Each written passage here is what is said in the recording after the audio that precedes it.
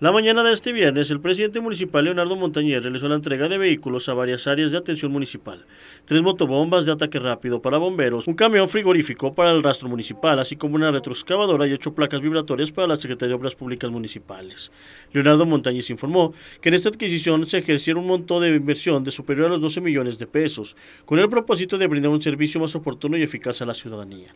Estableció que el Departamento de Bomberos llegará a cualquier emergencia en menos tiempo con unidades modernas y de alta capacidad, y el rastro municipal entregará productos con mayor garantía sanitaria, carnicerías y obradores. Asimismo, se podrán realizar más y mejores obras de rehabilitación, mantenimiento, construcción, gracias a las nuevas retroexcavadoras y las nuevas placas vibratorias. El regidor Alanís, la regidora Alejandra Peña, nos hemos preocupado porque todas las áreas cuenten con los instrumentos necesarios, con la herramienta de trabajo para que puedan dar resultados.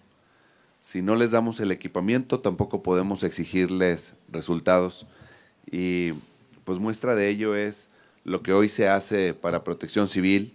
Ustedes saben que recientemente entregamos también tres nuevas ambulancias y afortunadamente pues cada vez hay más equipamiento.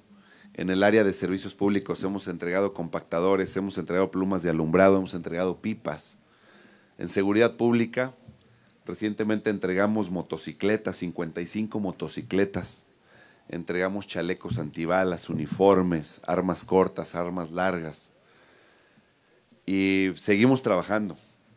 Esperamos antes de este año darles también la buena noticia de la entrega de más patrullas, tanto camionetas pick-up como sedanes, y que esto venga a fortalecer nuestros rondines, nuestra vigilancia, pero también a enaltecer y dignificar la función policial, como lo hacemos con cada una de las corporaciones.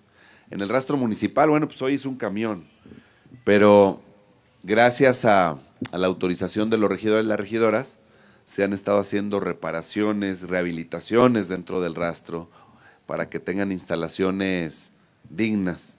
Eso es algo muy importante y es algo de todos los días. Comentarles también que en el área de obras públicas, bueno, ahorita es esta retro, pero comentarles que tenemos en rehabilitación una motoconformadora, tenemos un rodillo, que prácticamente lo estamos rehabilitando nuevo, camión de volteo y más equipamiento que viene para el área de, de obras públicas. Nos faltan los uniformes para la gente de obras públicas, nos faltan los uniformes para la gente de parques y jardines, y nos faltan los uniformes para algunas áreas de mercados, principalmente para el rastro, también equipamiento para el rastro. Con imágenes de Oscar Luevano para Quiero Noticias, Adrián Martínez.